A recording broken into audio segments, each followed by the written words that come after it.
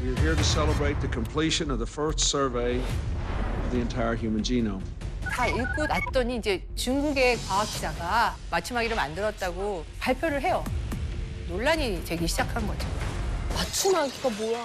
맞춤 정장도 아니고. 유전자 기술이 뭔지, 뭐가 어떻게 되어 있는지 알아야지 유용하게 사용할 수가 있거든요. 특정 질병 같은 경우에는 실제로 예, 좋은 예가 안젤리나 졸리 암이 생기기 전에 절제 수술을 받아서 그렇게 적용할 수도 있잖아요. 유방암 관련 보험만 잔뜩 넣는 거예요.